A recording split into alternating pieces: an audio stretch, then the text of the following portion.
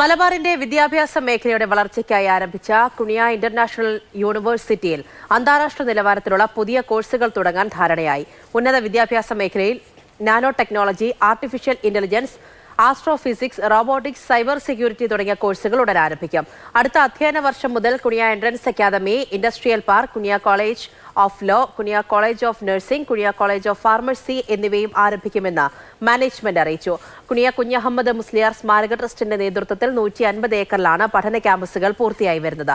ട്രസ്റ്റുമാരായ Ahmed Sahil Ibrahim Shamshad Ahmed Abdul Naseer പട്ടുവത്തിൽ T A Nisar chief academic adviser professor Sudheer Gawani ലണ്ടനിൽ നിന്നുള്ള Mike McDermott William Lishman K V Yahya K Abdulla Faiz Anas എന്നിവർ വാർത്താ സമ്മേളനത്തിൽ പങ്കെടുത്തു.